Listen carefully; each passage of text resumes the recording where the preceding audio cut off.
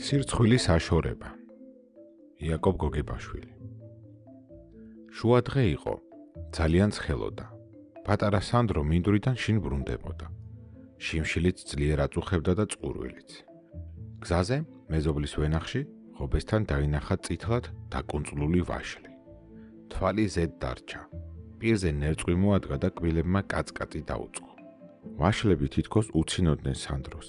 იწევდნენ და ეუბნებოდნენ ამოხდი მოგწყვიტე ჩავკბიჩე და პირი ჩაიტკვარუნეო სანდრო ყოხმანობდა. ქურდულად სხვისი ვაშლის მოკრეფა ეძნელებოდა ეთაკილებოდა. ცხოვრებაში არაფერი მოეპარა. მაგრამ ბოლოს ვეღარ მოითმინა. სულმა წაზლია ახტა ღობეზე მოწია ტოტი და 4 წითლად დაბრაწული ვაშლი მოწყვიტა. მიდის შინისაკენ სანდრო.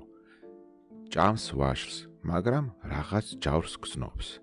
თითქოს გულში ვიღაც უზის და ეუბნება. ეგ ხომ ქურდობა ჩაიდინეო.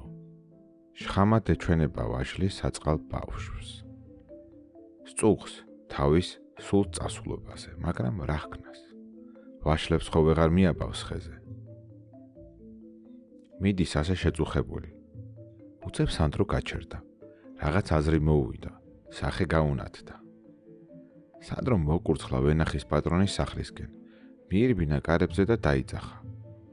ნათლიდეთ, ერთი გარეთ გამობრძანდი. შენა ხარ სანდრო? რა გინდა ჩემო კარგო? კითხა შინიდანვე დიასახლისმა. ნათლიდეთ, გეთაყვა. ნუ გეწყინება.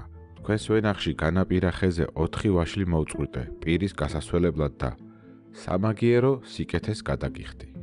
შეგარგოს ღმერთმა, უთხრა კეთილმა დიასახლისმა. სანდრო დაბრუნდა შინ სინდის დამშვიდებული და ტკბილად შეირგო წითელი ვაშლები.